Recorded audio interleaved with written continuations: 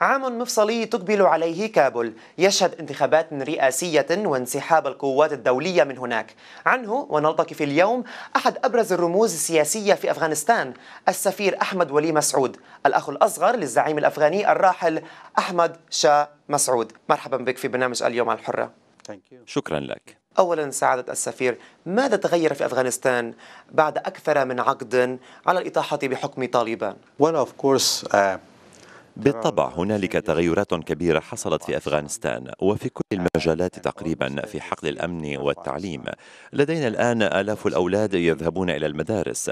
تطور القطاع الصحي ومن خلاله قد تم إنقاذ الكثير من الأرواح وخاصة من النساء. كما تغيرت المؤسسات السياسية فأصبح لدينا برلمان وانتخابات وأحزاب سياسية متعددة. ومن الناحية الاقتصادية شهدنا أيضا بعض التحولات الجذرية بالفعل. يمكننا القول إن تغيرات كبيرة حدثت في أفغانستان. كيف تقيم استعداد الأجهزة الأمنية في بلادكم لمرحلة ما بعد انسحاب القوات الأمريكية من هناك؟ لدينا حوالي 350 ألف رجل أمن في أفغانستان وهم مدربون بشكل جيد وفي أتم الاستعدادية. ولكن في أفغانستان كل هذا يتوقف على التطورات السياسية. إن حصلنا على انتخابات تشريعية تنتج من خلالها حكومة شرعية مسؤولة وشاملة وحكومة تحمل رؤية موحدة للبلاد. وإن حصل ذلك في انتخابات 2014 بالتأكيد الجيش سيصطف وراء هذه الحكومة بتلك المواصفات. إذا نحن نملك جهازا أمنيا جيدا ولكن كل هذا يرجع إلى التطورات السياسية وخصوصا في انتخابات 2014 ما هي المخاطر المحتملة من المصالحة مع طالبان التي تساعد بدورها من هجماتها؟ جماعة طالبان ليست نفس الجماعة التي كانت عليه في التسعينيات. لقد تغيرت مع مرور الوقت. لم يعد لديها نفس القوة كما كانت في السابق. ما شهدنا منها في السنوات العشر الماضية هي ممارسة حرب نفسية على الشعب الأفغاني على سبيل المثال عندما يضعون متفجرة داخل مسجد أو عندما يقومون بتفجير انتحاري. ففي هذا الأسلوب الأسلوب هم يعرفون جيدا بأنهم لا يستطيعون أن يواجهوا إلا في هذا الشكل الضعيف بترعيب العالم وخلق القلق لديهم. إذا طالبان هي ليست بالقوة العظمى ولكن هذا ليس يعني عدم توفر خيارات أخرى بتلقي تهديدات من مناطق أخرى في البلاد. ولكن أنا أؤمن بتخطي هذه العقبات بالتخطيط لمستقبل أفضل بشكل دقيق وبرؤية موحدة وبإجماع متسق لدى كل القادة الذين بمقدورهم تأمين الأمن للشعب الأفغاني ولأفغانستان. وهل تخشى أن تهدد عودة طالبان من بوابة المصالحة نجاحات الانفتاح في العقد الأخير؟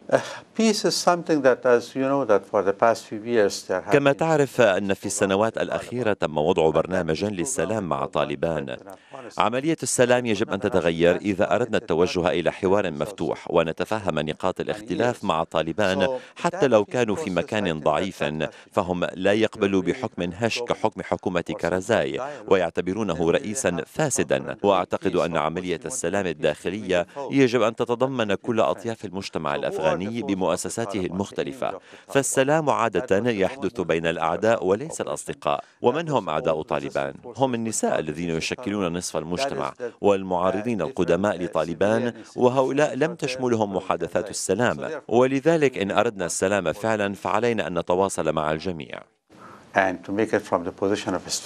وهل تخشى من عودة القاعدة ورموز التشدد إلى أفغانستان في ظل هذه المناخات؟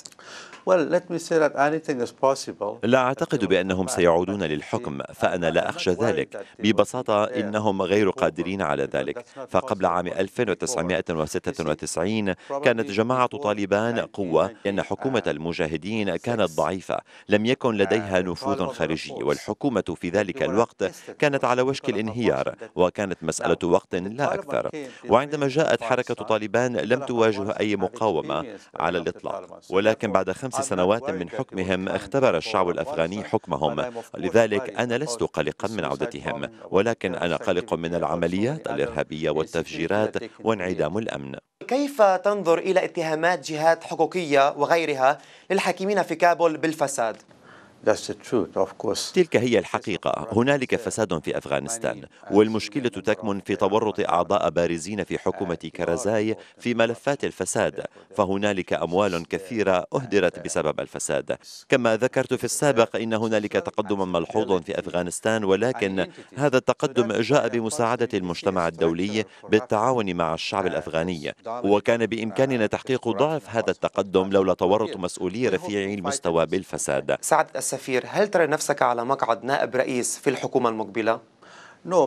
Uh, لا لأن هذه الفكرة طرحت في الماضي من جهات مختلفة. ولكن أنا أرى نفسي كإنسان ذو رؤية يلتف الشعب حولها لمصلحة أفغانستان وهذا مهم للغاية. حتى يتوحد القادة حول هذه الرؤية الشعبية لخلق منصة موحدة لمستقبل أفغانستان كخريطة الطريق. فخلال 13 عاما الماضية المجتمع الدولي كان متواجدا دائما معنا. ولكنهم سيخرجون بحلول العام القادم. وسيمثل ذلك تحديات كبيرة لأفغانستان سياسيا واقتصاديا وأمنيا؟ وسيكون على الشعب الأفغاني أن يواجه ذلك ويقرر مصيره بنفسه. في الختام ماذا تذكرون من ليلة رحيل القائد أحمد شاه مسعود؟ وما الذي تمثله ذكراه للشعب الأفغاني الآن؟ كان إنسانا مميزا. كان الوحيد في عقود الأربعة الأخيرة الذي ناضل في وسط الاضطرابات السياسية في مقاومة الغزو السوفيتي والإرهابيين. لقد كان مخلصا لأفغانستان وكان رجلا مسلما ملتزما وكانت أفعاله تتبع أقواله وقلبه. شخصية قوية جدا وروح عالية. إنه يريد أفغانستان لأفغانستان وليس لأحد آخر. كان زعيما استثنائيا وطبيعيا للبلاد. شكرا جزيلا على هذا اللقاء وأتمنى دائما الخير لشعب أفغانستان وشكرا.